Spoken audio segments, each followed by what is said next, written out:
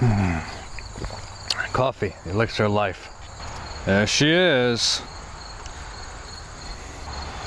Guys ever have one of those moments where you're just like, I can't believe this is reality?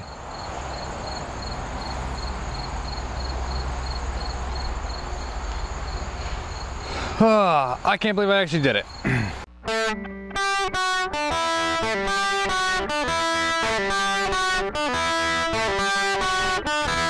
What's going on guys? I'm Renegade and this is my newly purchased 2006 R6 that I bought for only $1,500. Sounds too good to be true, doesn't it?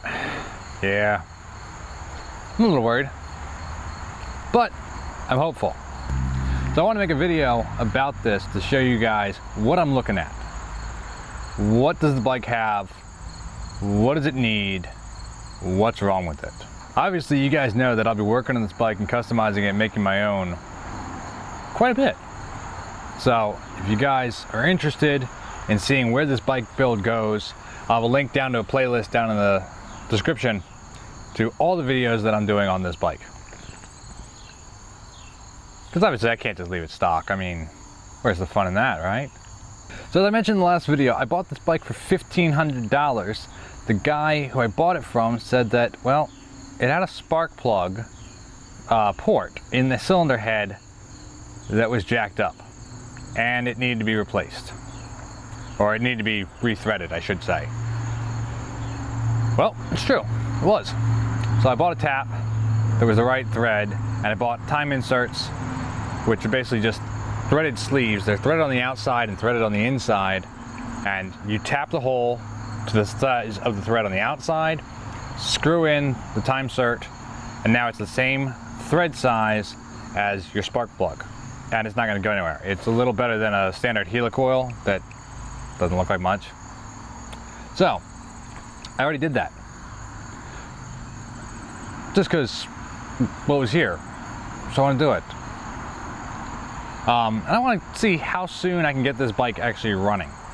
Now, obviously, there's a couple other things that I know need to be addressed. Uh, and I'd show you, but it's kind of hard because everything's under the tank and under the airbox, and it's very cramped, hard to get a camera in there, you know. But on top of the motor are the ports for the air injection system, or the AIS. Well, one of them isn't sitting right, so it's not running right because it's just basically a giant vacuum leak at this point. So I got to address that. Um, but obviously there's going to be a modification done on that coming soon. Um, because I mean, why not, right? Also, well, you know what? I'll, I'll show you. Let's do a walk around. Not half bad condition, if I do say so. Let's go over some of the important things. That, that is an M4 muffler. This is the first thing I saw when I was looking at it. It's like, oh, it has an M4 muffler. I'll be honest, I'm not a big fan of the M4 mufflers, so it'll probably change at some point. But for right now, all right, cool, performance muffler. But it goes farther. If you look in here, I hope the camera shows it, shows it well. There's no cat here. The catalytic converter has already been deleted. That's loose. I have to put that back in place. I'll do it later. also means that the servo has been disconnected. Now the servo is right here, and I don't have a servo buddy, and I don't know if I'm gonna need one or not, but the cables themselves have been taken off of the servo. So not only is it not here, the actual valve, but the cables don't run up here. Awesome. One of the nice things I also saw was these. These are steel braided brake lines. So the rear one, obviously. The front's got it too on both sides. Now that makes me very happy because I would have done this anyway. So awesome. Integrated LED turn signal brake light unit. Awesome. Now you can tell this has a used fairing because it's got this writing on the bottom. Hmm. It's all right. I said, I got basically two sets of fairings. One is the Yamaha Racing Blue. The other one is the Raven Edition. Sweet! I like the Raven Edition, it's real nice. Of course I like black. You can see some scratches on here, little things that need to be touched up. No big problem. Frame sliders. This one, I don't know. The bike was dropped in a driveway, like while rolling down the road. So it dropped at like five miles an hour. It was enough to damage the headlight unit. So I've got new headlight units and new plastic for this. And to grind this. Now there's no other signs of anything on here. You can see the clutch cover is perfectly fine. There's no damage on it. That's a good sign. No damage on the frame. That's a good sign. But this got a little chipped and the previous owner basically took a sander to it to flatten it. I don't know, man. This fairing is actually wrapped. You can see it pulling up there, right there. And that's the racing blue one. I've got another fairing, or another fender in the back. Look, no reflector, yay! Love that front end. But you can tell, like, this is glossy black and this is charcoal gray. Hmm. Yep, that'll need to be addressed. Got the nice Yamaha light. Somebody tinted the windscreen with paint, so it doesn't really work that well. Can't really see much through it. You can actually see more on the camera than I can see in real life. And let's face it, just looks kind of cruddy. And a sticker here, so I'll have to remove that. here you can see we have MZS adjustable shorty levers.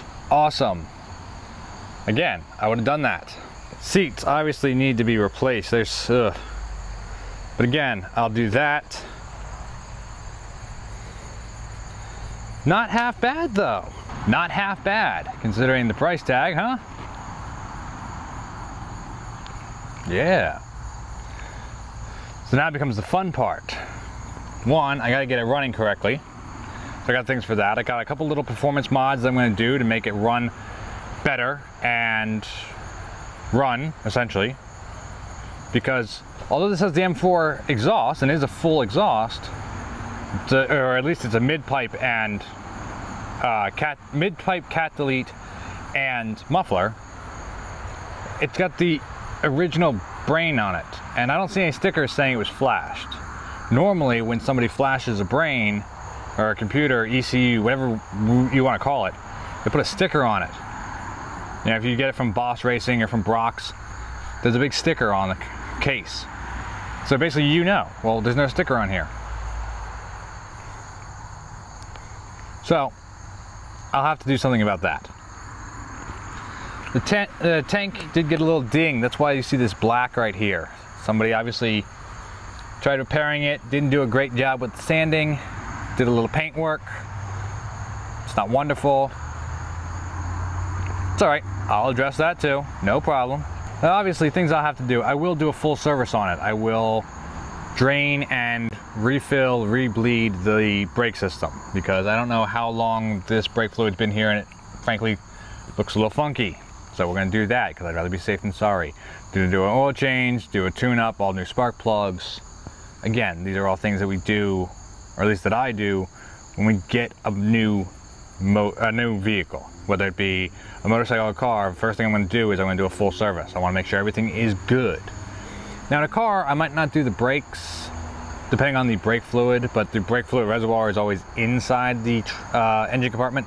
So it doesn't really get destroyed by UV, unlike a motorcycle.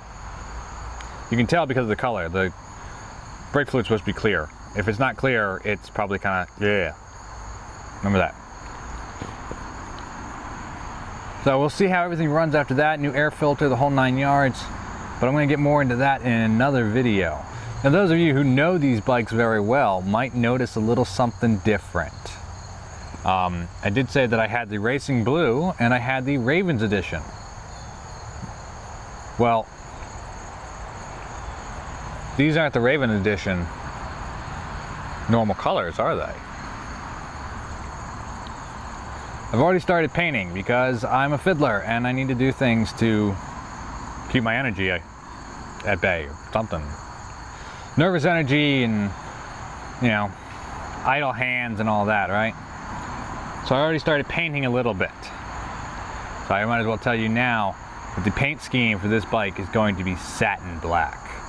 I've never done satin before. I've done gloss black on all the vehicles. First iteration of my Yamaha XS400, my Yamaha XJ600, the Suzuki Intruder Intruders I did earlier this year.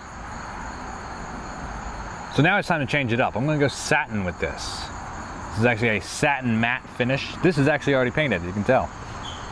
And it looks sleek as hell. I can't wait to get this whole bike painted. So we're gonna go satin black. Obviously, certain things I'll keep, certain things I won't, but you guys will get the idea soon enough. But I got some cool ideas for this bike, but I'm curious to see what are your ideas? What do you think I should do? If you guys have any suggestions of things that I should do, because I'm, I'm new to this bike. I mean, this is a fuel injected motorcycle. I've only had carbureted motorcycles. This is a whole new world for me, which I'm excited about because I'm psycho. If you guys have any suggestions, let me know down in the comments, please. And remember, if you're not already subscribed, please do remember to hit the subscribe button and hit the notification bell so you get notified when I upload a new video because I said I think this is going to be some pretty cool things I got in mind already. I can't tell you everything or else that'll give it away. But let me fiddle around with some stuff and we'll come back in a little and see what's going on with it, huh?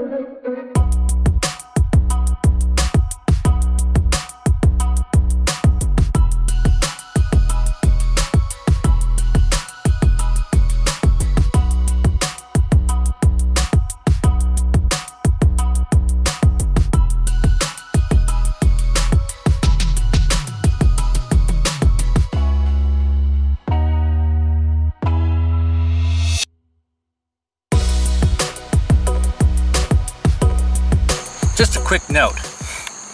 This guy right here is the one last piece you need to take off to get this whole headlight assembly off, or at least the, the fairings around the headlights. Call them the eye sockets. The last bolt, it's hidden back there. You gotta take everything off to get to it. But make sure you do, because otherwise you'll break this thing, and then it all won't be as secure. All right, so it's the next day. It started raining on me, so it's a little, yeah, hindered my plans a little. Still, I've got the whole front end off the bike. Now everything is off currently because I got another project that'll be next video, I believe, that ought to be pretty cool. Um, yeah, already started getting in to the whole uh, customizing process. Just a couple of things. One of the main things that I have got a problem with right now with this bike there will be a problem come riding that these grips are super loose. Like that took no effort at all. So, okay, roll back on the throttle. Sure, it does hold, but you can also see it's moving more than the throttle roller is. That's not good. So we're gonna replace these, put some bar ends on, and uh, be that much closer to getting somewhere.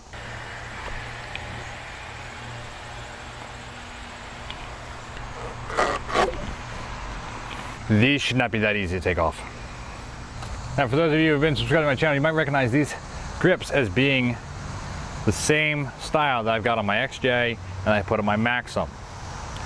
Only reason I didn't put them on my Intruder when I did the build on that is because I couldn't get these in a one inch handlebar. It's all right, these are easy to put on. The thicker one, thicker inner diameter, goes on the throttle. The other one goes on the other side. You might need to separate them a little. There's a three piece, so there's an aluminum piece and then the rubber. And I've had luck getting them on like this before, but I've also needed to separate them before.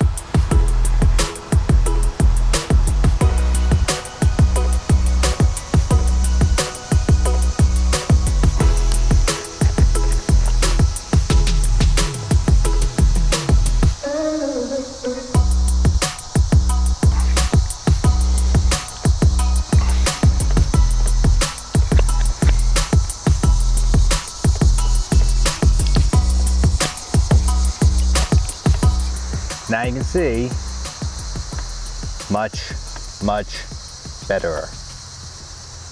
And if they're any type of good quality, you don't need to put glue on the grips.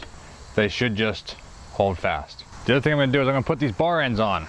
They're just little, little bit of an accent. See how the bike rides and see if I wanna put a weighted bar end on. I'm not entirely sure yet because I haven't ridden this bike yet. So at least for now, these would be nice because it, it needs something there.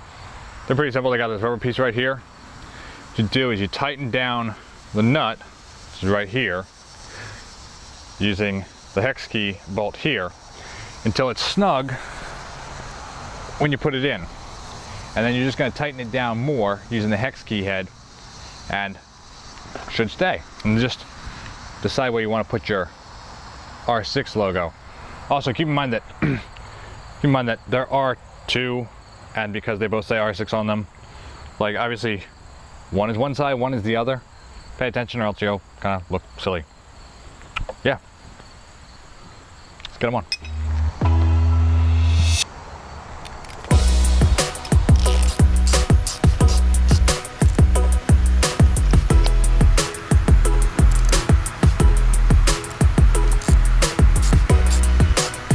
Just like that done. These do feel really nice. I do love these grips. They're so nice. The R6 accent right here looks really nice. So like I said, this is just the start. A little bit of thinking ahead, a little bit of planning. I'm gonna get rocking and rolling on this hard and quick. Said, definitely going satin black. I love the look of these fairings. Look even better when I get everything together. But since I'm doing something on the headlights, I don't want to put everything back together to have to take it all apart again. So let me know what you guys think down in the comments. If you got any suggestions or things that you think would be a cool idea to see on this bike, let me know. And uh, if you want to help fund this project, this build project, remember that there, you can always go to the link above my head, ko-fi.com slash the renegade, and you can donate a little bit if you want to help. And uh, you'll get a little thank you come the end of the video. A couple bucks, basically buying me a coffee. That's gonna do it for today, guys. Y'all have a good one. Keep rocking and rolling. I'm gonna keep taking care of business. I'll see you next one.